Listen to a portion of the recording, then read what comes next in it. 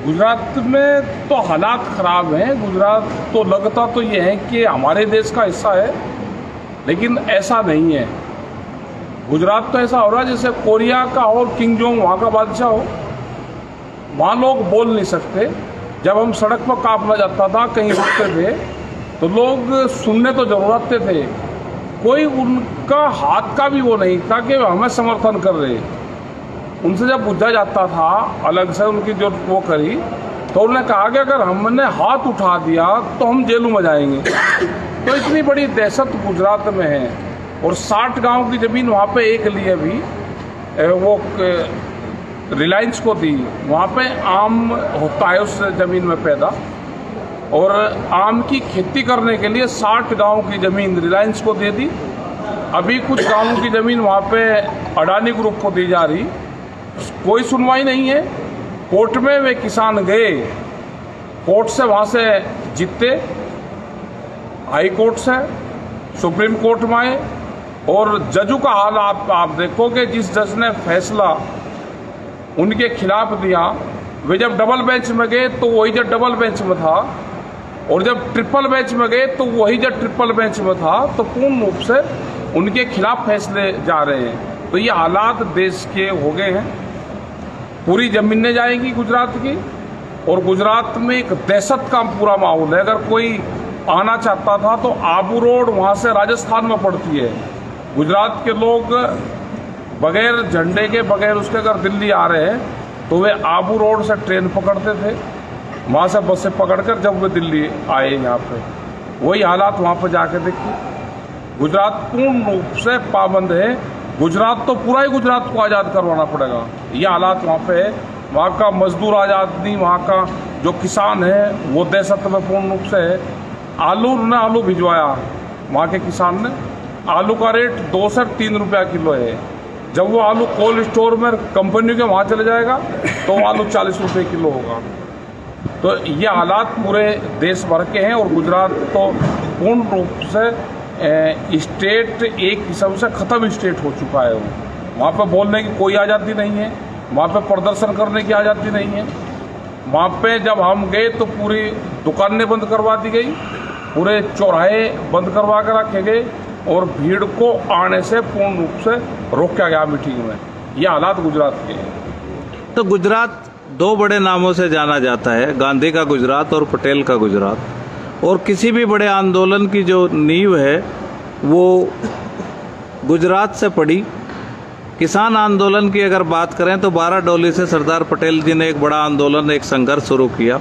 महात्मा गांधी जी ने नमक सत्याग्रह किया और पूरे देश को और दुनिया में आज भी गांधी जो है, सबके लिए एक प्रेरणा स्रोत हैं। और गांधी जी ने प्रेरणा दी कि हिंसात्मक रूप से आप जो है बड़ी से बड़ी ताकत के खिलाफ भी खड़े होकर लड़ सकते हैं तो क्या आप दूसरे गांधी की आवश्यकता है गुजरात वहाँ में? पे गए हम साबरमती आश्रम गए आज पहले सुबह ही।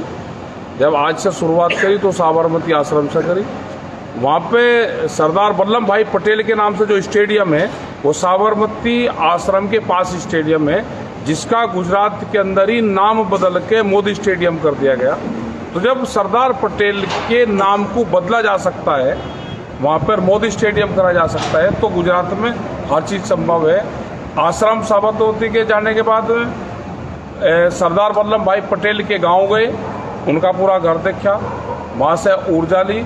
उसके बाद में बारडोली गए।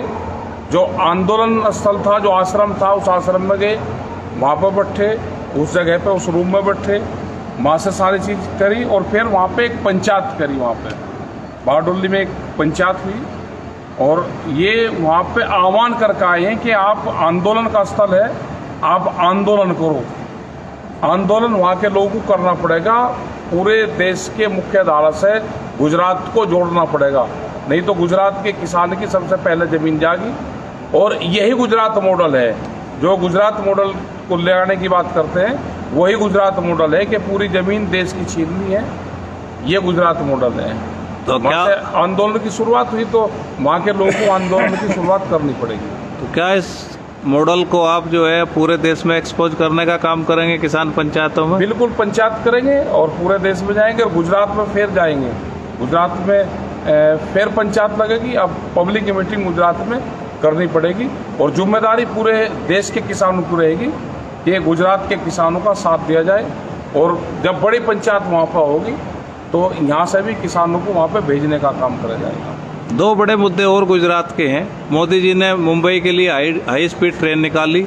वहाँ पे किसान संघर्ष करते रहे। पूरे देश में एक नियम है कि चार गुना मुआवजा मिलेगा, लेकिन वहाँ स्टेट का लॉ कुछ और है। वहाँ उसको दो गुना कर दिया गया है। उन किसानों की कहीं सुनी नहीं गई। दूसरा एक उदाहरण देश के सामने है। कि जब बंगाल में जो है नैनो के लिए ज़मीन नहीं मिली तो मोदी जी वहाँ के चीफ मिनिस्टर हुआ करते थे। उन्होंने एक रुपये मीटर में जो है उनको ज़मीन दे दी और आज वो कारखाना भी बंद हो चुका है। तो जब सरकार एक रुपये मीटर ज़मीन देगी तो किसानों का कहाँ से भला कर पाएगी? ये बात बिल्कुल आपकी सही है। और इसको आप किस तरह से आगे इस लड़ाई को लड़ने के लिए तैयार हैं? लड़ाई लड़ी जाएगी। गुजरात में लड़ाई लड़ी जाएगी पूरे देश में लड़ाई जाएगी।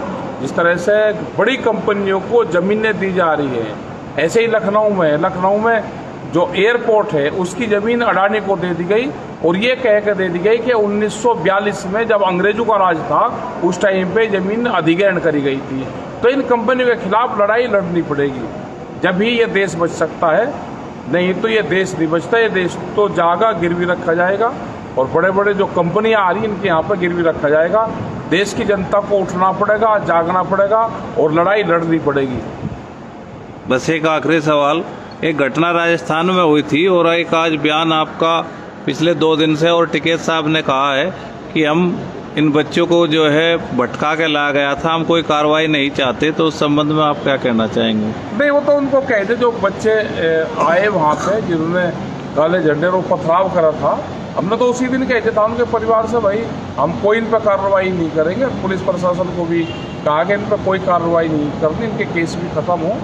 वो चाहे कोर्ट से हो या उससे हो और जो राजा राम मीर जो वहाँ के अध्यक्ष हैं, उनके परिवार से कहा कि उनसे मिलके और पूर्ण रूप से एक समझौते के आधार पर कोई बच्चों से कोई माफ़ी या कोई दंड, कोई उनको नहीं, उनको पीसफुल्ली वे जाएँ, अपना काम करें, अपनी पढ़ाई करें, और ये हमने उनको कहा था राजस्थान में।